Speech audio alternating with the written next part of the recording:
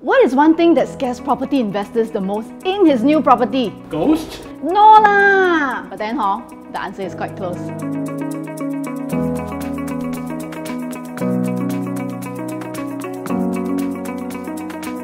Hi, it's Kim again. Moving on to the fourth video in our Smart Formula series, let me share another factor that is very crucial to be considered before buying that new property, especially if you are buying it for investment. Well, it's not ghost, but it's kind of related. It starts with R. Rats?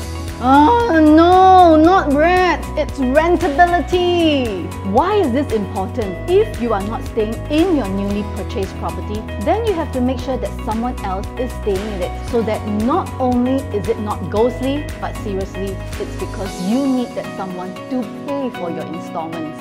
Therefore, choosing a development with high rentability is really important for your investment success. And that means as future landlord, you must know where and what tenants like. For example, which town do you think is one of the least favorite for homestayers but yields the best in terms of rental? The answer might surprise you. It's Geylang. So really, you probably wouldn't know such insider information unless you're in the property business for as long as I have. Eager to discover where else are the current or future tenant pools to help boost the rentability of your next property purchase?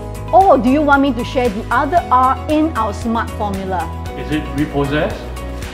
Risk! The other factor is risk. Well, anyway, just send us at Beyond Homes a message. Stay tuned to the last episode in our series where Sue and I will share the last factor in SMART.